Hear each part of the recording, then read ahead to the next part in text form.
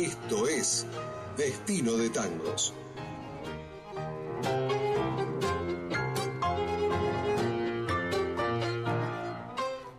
Y siendo las 19.57 minutos, siguen llegando mensajes al 1168 98 75 92, a donde vos también podés comunicarte y mandarnos nuestro mensajito, como lo hizo, por ejemplo, Vanina Parets, que nos dice: Felicitaciones, Robert, por esta semblanza del 9 de julio. Gracias, Vanina. Un abrazo nos manda el equipo y para mí también, por supuesto. Te mandamos un beso grandote, grandote, grandote.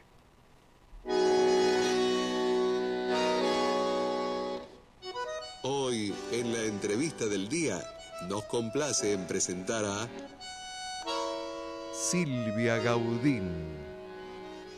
Su carrera profesional de cantante de tangos comenzó allá por 1987 en Buenos Aires y se destacó por un estilo personal en la interpretación de los tangos arrabaleros.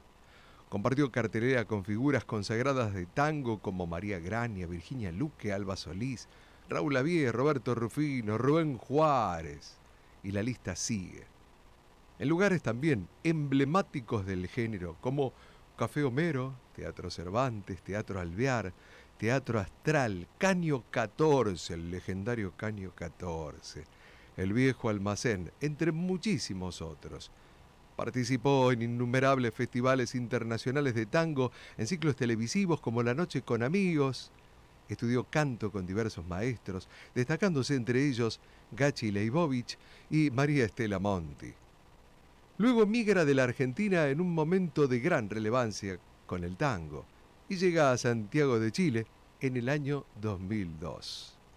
Su actividad como cantante se desarrolla en forma intensa, presentándose al frente de su propio show, show en diversos teatros de Chile. Es figura central en Concierto Tango. En el año 2010, junto a la Orquesta Sinfónica de Chile, en el Teatro de la Universidad de dicho país. Como actriz, se ha presentado en gran cantidad de obras y ha realizado el melodrama musical Adiós mi amor, dirigida por Miguel Ángel Bravo. Desde hace seis años, complementa sus actividades artísticas con la docencia y recientemente retornó a nuestro país, dándole continuidad así a sus trabajos como cantante y también como docente. La tenemos al otro lado de la línea a ella, a Silvia Gaudín. ¿Cómo está Silvia?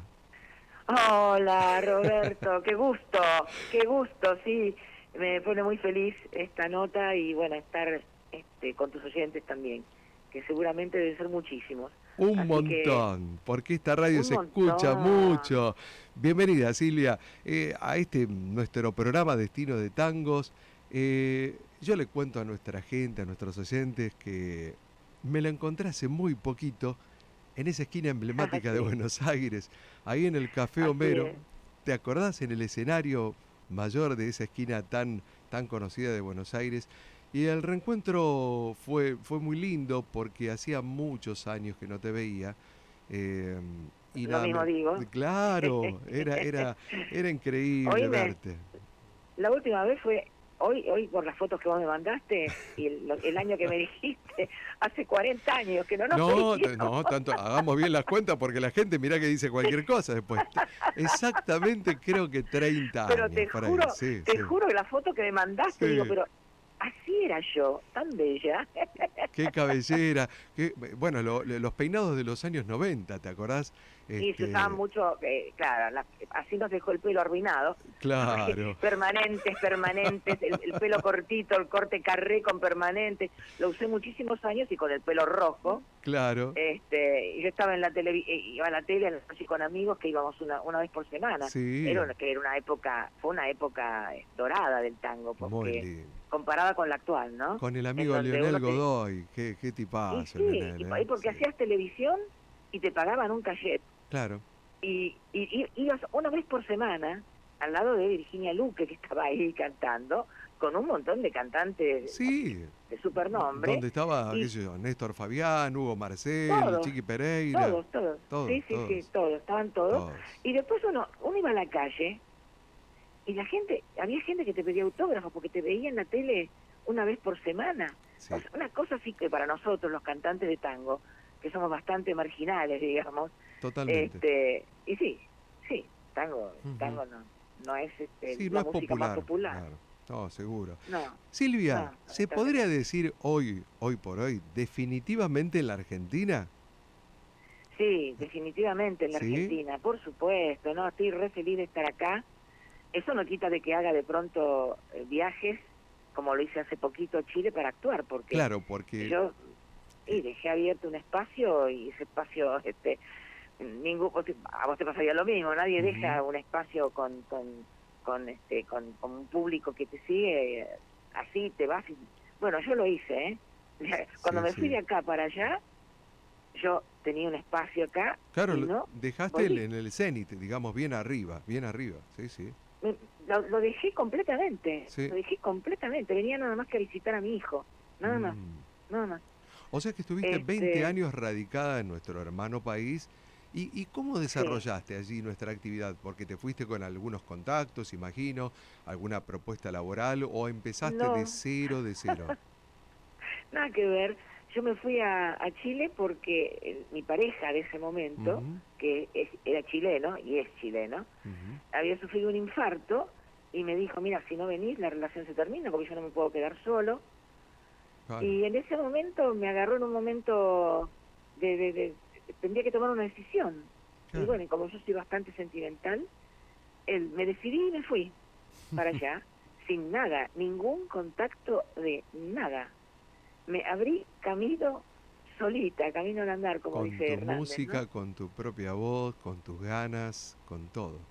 Sí, sí, eh, empecé cantando en un lugar muy bonito que se llama el Mesón Nerudiano, Ujú, que en esa época se llamaba el- la Tasca Mediterránea, y, y, eh, así con, con, el, con un músico, Car- eh, Carlos consiguió el contacto para poder cantar ahí. Claro. es lo único que lo único que se armó. Es un restaurante muy bonito muy muy, elegante no pero un restaurante con, con escenario con piano con todo. Este y ahí empecé y empecé de a poco y, y a ir sumando lugares a pesar de que Chile no es precisamente una plaza fácil. Pero lo que pasa que claro o sea cuál era mi ventaja cantar el tango como una argentina ¿eh? Claro. Eh, eso es una ventaja una ventaja grande Sí. eh, en Chile los chilenos este, cantan muy bien también, pero eh, qué sé yo, es como si yo me pusiera a cantar cueca, nunca me sentí igual claro, claro. que como la claro. canta un chileno, ¿no es El cierto? estilo Hay argentino. como una cosa sí. así como ancestral, no sé muy bien cómo, cómo definirlo, ¿no? Qué lindo. Y bueno, y Y- así de a poquito fui haciendo mi espacio, la verdad que he trabajado mucho y muy bien, y ahora me fui 15 días y resulta que me contrataron, me pagan pasaje, todo para ir a una actuación el 13 de octubre, así que no Oh, pensaba volver. Pero y qué que bueno. el 13 de octubre, pero 10 días me iré nada. Claro, claro, y después claro. ya... Es que no tengo muchas ganas de irme de acá, quiero estar acá. Sí, quiero, sí, sí, eh, sí, sí.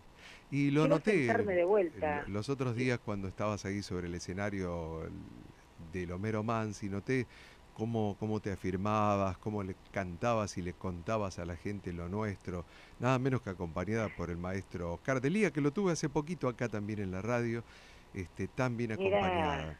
Qué lindo.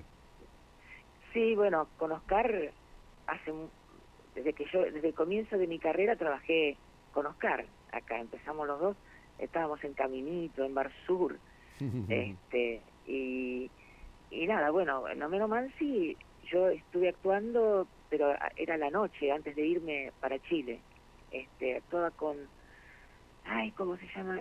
Ay, este cantante, no, me puedo acordar. A ver. El esposo de Patricia La Sala. Con el esposo de Patricia La Sala. Se me fue, sí, sí, sí, sí. Sí, ahí no me sale ahora el nombre. Se me, se me Patricia está cantando mucho ahora en Buenos Aires también. Me pero no- alegra. Sí, me sí, alegra, sí. me ¿Y, y cómo encontraste la Argentina, eh, Silvia, ahora?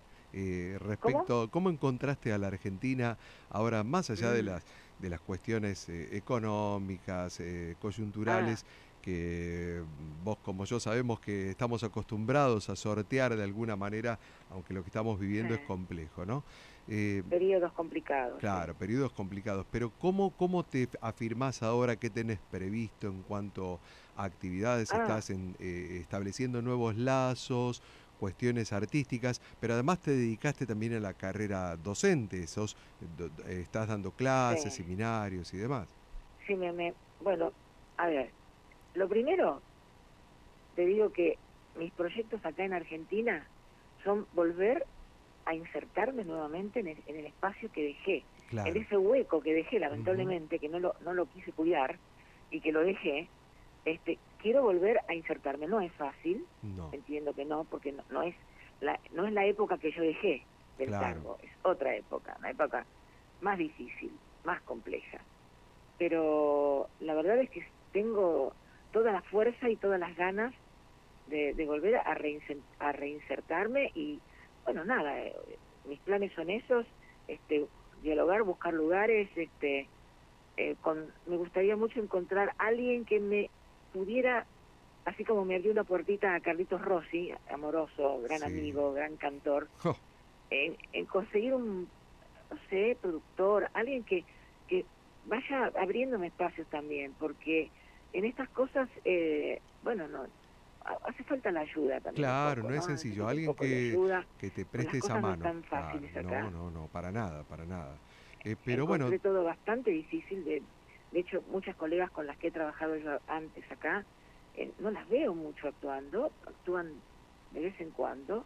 Entonces, la, cosa está, eh, está este, con un panorama un poco severo, pero bueno, ya, ya. No, pero mira, yo te vi muy plantada, aparte sos dueña de un estilo eh, muy versátil, muy dúctil, porque podés hacer eh, tan bien aquel tango arrabalero con el cual el gran público te conoció, ese tango río, esa característica que tenías vos y que la hacías tan bien, a la cual le sumás un plus de artista, de, persona que, bueno, conoce el mundo de la actuación, por supuesto, y, y ese melange eh, da sus réditos de alguna forma. Y como tenés una gran voz y seguís cantando como, como los dioses, como antes, eh, yo creo que se va a abrir un montón de caminos, porque podés hacer un, tan bien un tango de Ladia como un tango de Disépolo. Muchas gracias. Bueno, a mí me da placer. Eso, eh, cuando, cuando fui a Chile, empecé a trabajar con los tangos este, por ahí los más clásicos, los más dramáticos, los más fuertes y porque era necesario, no podía quedarme, imagínate, en Chile haciendo solamente tango rabalero. Claro. Este, y empecé a, meterme en, ese lugar y del tango y me di cuenta que yo necesitaba también mostrar eh, esas cosas más fuertes, más intensas del tango. Lo necesitaba por mi, por mi personalidad, por, por, mi cosa interpretativa que tengo. Además, si yo no me equivoco, vos comenzaste en principio con la actuación y luego te fuiste dedicando a la música y al tango. Exactamente, y yo estudié con Alberto Ure, este, teníamos un grupo, un grupo de teatro este, muy lindo, se llamaba Emergencia el grupo de teatro. y sí, este, llamen a la ambulancia por poco. Y, y sí, hacíamos teatros en, en los teatros, teatros de esos teatros más vanguardistas, teatros más chiquitos. Claro, más este, Era una experiencia muy, muy, me, encantaba. Y en Chile hice también, hicimos una versión de adaptada de eh, La voz humana de, de Cotó, de Jean Cotó. En forma de musical, que lo dirigió Miguel Ángel Bravo, hermosísimo. Eso fue una experiencia muy buena para mí, de meterme en una cosa dramática y también con música, con los músicos en vivo ahí en el escenario. Fue muy lindo. Y filmé una película filmé una película con, sí te juro, con Jorge Alís, que es un mm. actor argentino que vive en Chile hace muchos años, es humorista, y este y filmamos una, se llamaba Argentino Culeao. La película, claro, te, juro, de mucho humor, de YouTube la película. Y yo hacía de madre, hacía de mamá de él. Mirá. No, los espacios de Chile fueron fueron súper buenos. Ay, me hablabas de la docencia, sí, la docencia también empecé a aplicar allá eh, fue con María Estela Monti hicimos hice varios cursos para para para perfeccionarme para ser docente de canto porque una cosa es cantar y otra cosa es ser docente. De Exactamente, totalmente de acuerdo. Este, y me, gusta mucho la docencia, me, me, me, da mucho placer. Tuve durante muchos años un taller de interpretación y después este, trabajos individuales con alumnos. me, me, gusta mucho, me da mucho placer y quisiera y eso es muy Ojalá importante. retomarlo acá también. Yo creo que acá vas a tener vas a tener mucha presencia acá en Buenos Aires porque hay cierta avidez por aprender eh, los secretos del género, sobre todo, igual te lo comentará Carlitos Rossi, que lo hemos entrevistado aquí también, amigo, este gran cantor y gran maestro en este en este aspecto, ¿no? O Pero no me cabe duda. Claro, No me cabe duda. Sí, sí, sí, sí. También Luis Filipelli está, está justamente en el mismo rol. Lo Hay vi. varios, eh, eh, varios, digamos, profesores de esa época del tango que hoy están impartiendo ese conocimiento y que es tan necesario, porque vas a coincidir conmigo, no cualquiera canta tangos. Sí, yo, yo pienso lo mismo, pienso que el tango es un género muy difícil. Ujú. el cual- eh, todo el mundo puede cantar, y todo el mundo puede cantar tango o Por el género que elija, pero eh, lo difícil es llegar al corazón, ¿no? Porque Claro. eh, eh, no es solo cantar de la boca para afuera, ¿no? Y esta cosa de la emoción, Claro, del no es simplemente Poner la Eh, nota y afinar, nada poder... más, ¿no? El otro día lo escuchaba a Luis Landricina que dijo una cosa muy bonita, A ver, dijo que él, que es un, un genio, ¿no? Verdaderamente, un genio Vaya en, en narrativa, decía que él dibuja palabras en el aire para que la gente las vea.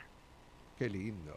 Dibuja palabras en el aire de historias para que la gente las vea. Y me pareció muy genial. Y lo logra, lo logra, sí, sí, sí. Claro, porque eso realmente es eh, el trabajo interpretativo. Exacto. dibujar exacto. palabras en el aire, como si uno estuviera viendo una uno como cantante viendo esa película y la gente viéndolo a través de uno también. y eso me pareció me pareció una, una genialidad que la voy a que la, bueno, me la apropié. Seguro, seguro.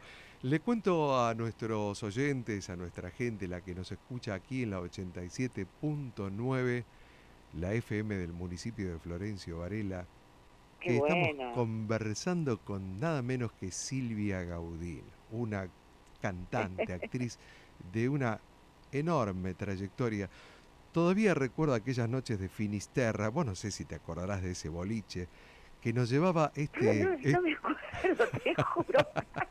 de las fotos que me mandaste, Claro. que vi, ahí, ahí me voy a mirar, uy, uy, sí, de este me acuerdo, uy, de Sí, este me sí, acuerdo. Claro, te recordarás del bailarín que nos convocaba, un personaje de la hostia. Pero qué increíble. Rubén ¿no? Me Terbalca, ¿te acordás de Rubén Terbalca? De este Ahora, bailarín. bueno, ahora cuando lo vi en la Claro, foto, sí, porque sí. vos el otro día cuando nos encontramos en, en Homero Mansi, Sí, me lo nombraste. claro, Pero ahora que lo vi en la foto, ahí me acordé mucho más. claro. Ahí me acordé mucho más. Qué, qué época, qué ella, ¿Qué, mía. qué impronta le daba a los shows? Porque bailaba hasta con un bastón, luego con, con quien era su pareja, invitaba bailarines y aparte hablaba de la psicología del tango. Como buen psicoanalista, eh, tenía una forma de encarar la visión del tango eh, desde otra óptica, Ah. diríamos ahora desde otra arista, ¿no?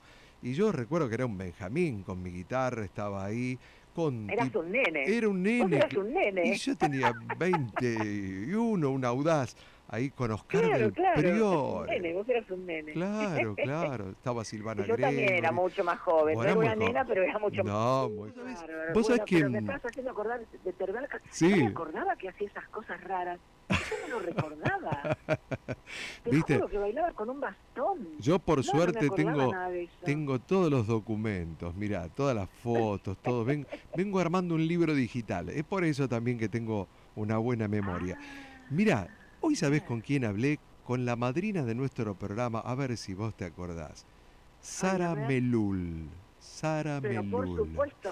Pero ¿cómo no me voy a acordar de Sara Melul? Claro que sí. Claro, Sí, además de ser una gran profesional de la física, porque ella es licenciada en física, tenía un cierto romanticismo con la bohemia del tango, pero luego se profundizó como bailarina, escritora, Sí, tiene varios libros.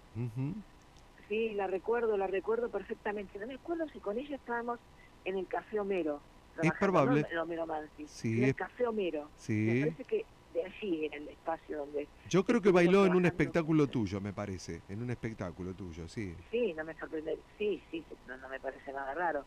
obviamente que sí. ¿Y ella se acordaba de mí? Por supuesto. Eh, iba a tratar de Ah, escuchar el programa, si no después se lo vamos a acercar. Le mandamos un cariño enorme con Sara, yo hice muchos trabajos, después seguí trabajando con Rubén Terbalca y bueno, hicimos algunos discos y demás. Al respecto te quería preguntar, ¿y ¿con quiénes has grabado? ¿Tenés eh, algunos discos ya editados? Este, Mira, mm, yo contame. A ver, hace un millón de años, un cassette. Mira, Después, este, fue con Alfredo Montoya, con mis épocas de comienzos, comienzos.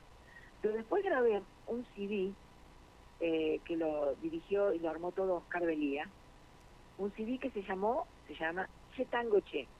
ah, Y con ese CD, y ese CD se editó en España también. Este, o sea que, bueno, anduvo bastante, anduvo por, por algunos lados. No me acuerdo en qué otro lugar más. En Chile, por supuesto, también. Y no me acuerdo si en otro lugar más. Este, y después no he vuelto a grabar. He grabado cosas en vivo, pero no, he grabado muy poco. Realmente, bueno, esos temas nada más. claro. Ah, no, no, perdón, perdón. Grabé un CD con Cristina Toco, una, una, una chica argentina, una actriz argentina que está radicada en Chile Ajá. y que es muy allá es muy conocida, muy conocida. Y hicimos un espectáculo que se llamó Dos Minas para el Tango Claro. y el productor nos hizo grabar, acá en Argentina nos hizo grabar. Vinimos acá a grabar con, ay, no, no me puedo acordar el nombre, de, bueno, Del, ahora no me acuerdo el nombre claro, el pianista. Manuel Oscar, este, y grabamos ese CD y está en Spotify. Claro. Sí, sí, de, hecho, un- uno de los temas que pasamos, eh, creo que fuimos, pertenece a ese disco que vos me mencionás, Dos Minas para el Eh, Tango. Lo grabaste en el año eso. 2003. No, y después eh, participé, participé como invitada en discos, en CD de colegas, este, varios, varios, varios, en varios CD. Uno fue el de eh, Mor- Morfeo, puede ser, que fue un Mm. homenaje a, a Lionel Godoy. Hizo un CD Claro. en homenaje a Lionel Godoy claro. Y ahí fue donde grabé Vení, Vení. Y, y- Qué bello tango ese, eh, lo escuchábamos, fue el primero que escuchamos eh, tuyo, hoy este, de Enrique Cadícamo y de mm, Juan Carlos Cobian. Bellísimo tango que no es muy, no es demasiado escuchado en la radio. para nada, para nada, es hermoso. Y eso fue, bueno, la, me lo sugirió él, ¿no? Este, Claro. El productor del, del, del CD. Este, me lo sugirió él. Y los, a mí me encantó también, me encantó. De hecho, me, me, me gusta mucho. Este, pero bueno, no, no he tenido la oportunidad mucho de hacerlo. Porque, por ejemplo, en Chile eh, tenés que estar... eh, la gente te pide siempre lo mismo, naranjo flor, Claro, sí, este, sí, ¿no? sí. Bueno, si no haces cambalache y ahora yo si no hago se dice de mí, es como que me matan directamente. Claro, claro. Siempre más o menos lo mismo. Por ahí yo meto uno o dos tangos que me dan ganas de hacer, que no que no los conocen, pero en la mayoría del repertorio tengo que ser tangos conocidos. Ahora acá, no, pretendo, no sé, acá pretendo también, por supuesto, algún tango clásico a la gente le gusta,